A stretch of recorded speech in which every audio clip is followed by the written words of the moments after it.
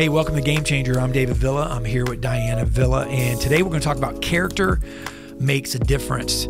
Character makes a difference, and uh, want to kind of compare character to charisma, and um, kind of look at the two, and and really just analyze not just the difference, but the need for both of them in life, in business, in what we do. But which one should we focus on? And really, character makes the difference. Charisma is easy, right? Character is something that we have to cultivate. So when we cultivate character, right, we build strong families uh, we go further in the long run, both in life and business. So, uh, cultivating character focuses on a foundation, and you know, um, you know, we talked a lot about this before. When you look at foundation, when I think of foundations, I immediately my mind goes to skyscrapers, and I begin to think about, um, you know, something that is growing high in the air. Right? It's they're beautiful um, we're enamored with the way they look and how high they grow. But a skyscraper that goes a thousands, thousands of feet into the air goes hundreds of feet into the ground. And so, as a business leader, let's look at this from a standpoint of a business leader uh, first, right? It's easy to get caught up in the pursuit of success. But as a Christian, we know God values our character above all else. And Proverbs 22 1 says, A good name is more desirable than great riches. To be esteemed is better than silver or gold. So charisma can help you gain attention and admiration, but character is what truly sets you apart. Uh, 1 Samuel Diana 16 7 reminds us of this the story of David, where Samuel is told by God to go to the house of Jesse that one of his sons will become the next king. And he walks in, and immediately Samuel is attracted to what all of us are attracted to. He is attracted to the warriors, he's attracted to the success, the resume of Jesse's oldest sons. And he goes to Eliab and Shammah and goes down the line. And God says, You know, look, I've rejected him. And 1 Samuel 16 7 reminds us the Lord does not look at the things that people look at people look at the outward appearance, but the Lord looks at the heart. So it's easy to become enamored with the idea of success, but we must remember God's definition of success is different from the world's. And uh, Matthew 16, 26, Jesus says, What good will it be for someone to gain the world yet forfeit their soul? So let's look at charisma versus character. So I think um, charisma obviously is something that will initially attract you to somebody. So when you meet someone, it's their charisma that says, that kind of pulls you in like hey i want to get to know this person.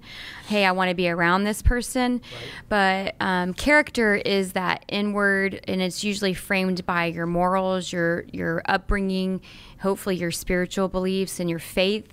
And so it's it's framed by that where charisma is just your personality who you are what you know all that exterior. So i think um, you know charisma will open a lot of doors for you, but it's really character that keeps you there and having that character. Character is what you do when nobody's watching. I think charisma is what you do is what is done that everybody sees.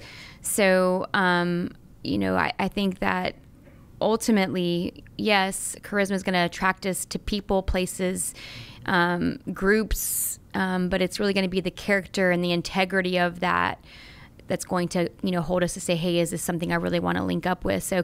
We should link up to people i think we're attracted by charisma but we should link up to things based on character and integrity yeah character is the foundation of great leadership and it is what will sustain you and I through the ups and downs of life and business. And charisma makes us stand out for a moment but character is what sets us apart really for a lifetime and that's what we're going for right we're going for a legacy we're going for longevity so we can't let the pursuit of success right blind us to the importance of character and I've done that in my life. I mean, you know, I've seen that, um, and it's a pitfall. It's a downfall because you're right. Charisma is something that it, man or or, per, or, humans gravitate towards. You know, where character is something that God gravitates towards. And um, so we have to prioritize character over everything else. A lack of character as a believer will keeping you keep you from reaching your full potential in Christ. Uh, Proverbs 28 6 says, Better is a poor man who walks in his integrity than a rich man who is crooked in his ways. So character in God's eyes will keep you going around the mountain. Um, you know, there was a lack of character in my life over the course of time where there was a plethora of, of charisma, but that lack of character kept me going around the mountain. And, um, you know, God is not going to turn a blind eye. Man will look beyond your character issues to your giftings and talent, your charisma. God looks beyond your charisma and your gifts and talents and looks at the heart. Um, so we have to strive to build character and lead with integrity, right? Knowing in God's eye, our character is what truly matters. Well, I think also if, as employers, as you know, maybe people that are leading people in small groups or in, in church or ministry, um, I think we have to be careful to uh, make sure that we are investing in people based on um, their character and not what they can offer you. So I think that you know sometimes we are attracted to people because of their charisma, but then our motive. So it's not just about the person that's their character or charisma, but also us personally. Are we attracted to that person? Um, are we drawn to that person? I should say, because when I think of attractive, I think of like more relationship. But are we drawn to that person because of their charisma and what they can do for you, or are you drawn to that person because of their charisma, but then they have that character? A lot of times we steer away from people that have, because I think character is is should be grounded in your morals and your faith. And sometimes, especially if we're not in a good space, we will steer away from people that have good character and integrity because we don't really want to give them the liberty to speak into those things that, you know, uh, that maybe would challenge us in in our faith and or in you know, hey this is the right way we want to steer away with people so i think that's another thing you know what place you're at in life, if you're in a, a, a, situation of indecision of what to do, make sure you are being drawn to people that have good character um, that will lead you, not because of what they can gain from you, but because they see the God potential in you and they will have cause you to pursue God's best for your life, not because they have something to gain in return. I hope that makes sense. Yeah, it does. And you know, I was thinking as you were talking, no amount of education, no amount of experience, no amount of charm can compensate for a lack of compare of character strength. Um, so it doesn't really matter, you know, that you went to Harvard, Yale. It doesn't matter that you, you know, have this resume. It doesn't matter that you look this way or that you have X amount of money no amount of education, no amount of experience, no amount of charm will compensate for a lack of character strength. Proverbs 10:9 says, "Whoever walks in integrity walks securely, but whoever takes crooked paths will be found out." So a lack of character will ultimately hinder you and I as believers from reaching our full potential in Christ. And I want to bring something up too when it comes to charisma. The charisma of charismatic leaders is enticing, but we have to remember that it doesn't stem solely from positional power. Charismatic leadership is born out of perceptions. You know, this is important in a day of social media, right? It's born out of perceptions that the followers hold of the leader. So it's it's it's the Instagram reel, right? It's the it's the it's the post. It's it's the um, it's the used to be the the photo moment, right? Um, it's the the family photo on the wall, so to speak. But now that's done so regularly and posted so regularly, and um, you know, and put out so regularly for people to see. The reality is that's a lot of times where charisma comes in. It's not based on. Um, it's based on the perception the followers have of the leader. It's the ability to inspire, right, and, and, and foster dedication within others, going beyond what is expected. However, true charisma is not sustained by charm alone. It must be rooted in a foundation of character because ultimately, I believe your character will tell on you.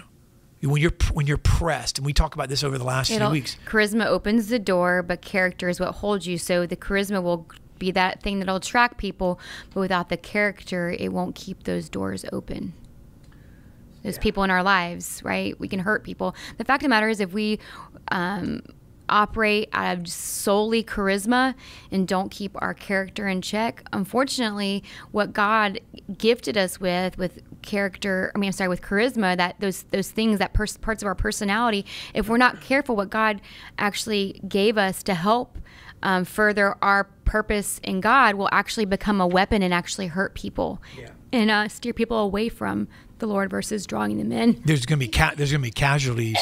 There's casualties, um, you know, to, to that that come along with that, and that's that's a great point. And you know, but but I, want, but I don't want to dog out charisma. So those of you that are watching, you know, we're not against charisma because, as Diana mentioned, you know, God, it's God that gives you those gifts. It's the thing is that He gave you to you as a gift. So so let me think of this for a second. We give gifts to our children that we want them to enjoy we want them to have those gifts. We give we don't give a gift to our child and then say, you know, this is a gift, but you know, don't hold it close, don't don't don't enjoy it. No, the reality is, you know, we want them to enjoy it.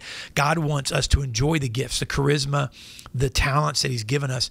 But when we put those above character is where the issue is. So here's here's the answer, I think. We have to prioritize character alongside charisma.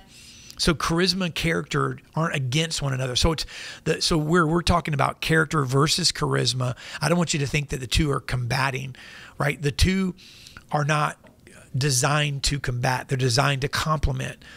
But I, I, I was looking at it more from a viewpoint of let's look at character versus let's look at charisma. But really, they're designed to walk hand in hand. They're they're they're to walk alongside of one another we align ourselves when we do this with God's desires for our leadership. So if He's gifted you with charisma and He's put the gift of leadership on the inside of you, or the gift of, you know, um, you know, parenting on the inside of you, the gift of a to be an effective spouse, those types of things, to, to be a communicator, whatever it is, then His desire is for your charisma to to to walk alongside and your character to walk alongside one another.